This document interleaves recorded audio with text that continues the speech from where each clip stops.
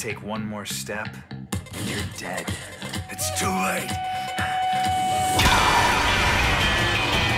Now you're screwed, old man. You wanna play? Let's play. Bring it, nerd. Pay your debt. Wait for a long time. There's a new generation of gamers out there. Let me at least introduce myself. Travis Touchdown. You murdered my daughter. Don't pretend you've forgotten. Now you're just gonna confuse people. They need to know about the most hardcore assassin in video games. You bastard! We're trying to butter up the gamers. Your fight is here in the real world.